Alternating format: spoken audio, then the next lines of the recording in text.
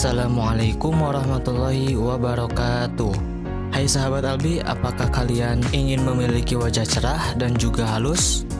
Nah sahabat, tontonlah video ini Albi Herbal memiliki caranya Sebelum ke pembahasannya, sahabat jangan lupa klik tombol subscribe dulu dan juga tombol loncengnya agar sahabatlah yang pertama kali tahu ketika ada video-video terbaru dari Albi Herbal. Untuk memiliki wajah cerah dan wajah super lembut, sahabat bisa lakukan cara ini. Untuk bahannya yaitu hanya dua bahan. Yang pertama ada air mawar dan yang kedua ada kentang. Oke, kita langsung saja bagaimana caranya untuk memanfaatkan kedua bahan ini sebagai pencerah wajah dan juga menghaluskan wajah. Untuk pertama, kalian kupas kentang Lalu kentang ini dibersihkan terlebih dahulu, setelah itu kentang ini diparut hingga halus.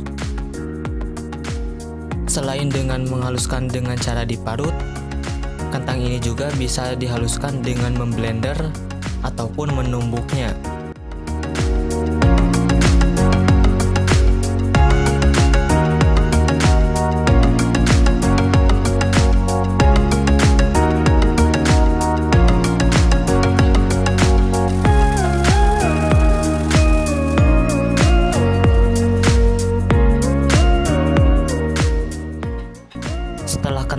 Dihancurkan dan dihaluskan, sahabat tambahkan dengan air mawar tadi.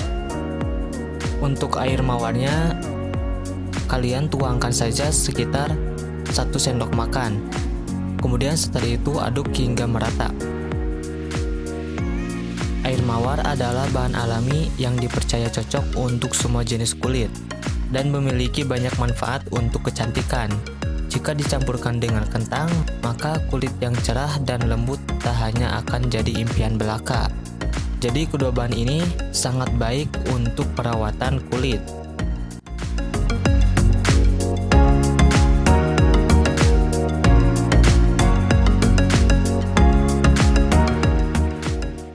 Oke, setelah diaduk secara merata, masker ini bisa langsung diaplikasikan pada wajah.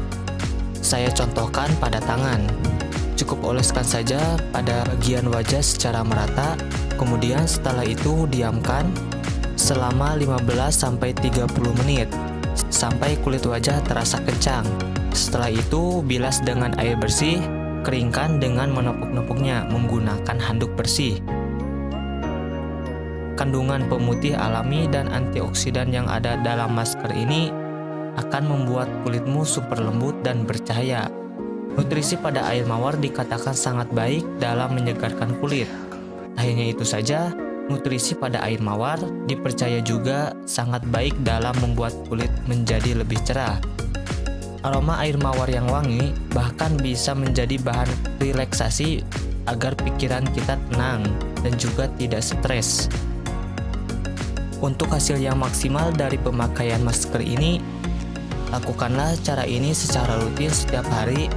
Cukup aplikasikan masker ini sebelum tidur. Sahabat akan nampak perubahannya. Mungkin itu saja yang dapat saya sampaikan.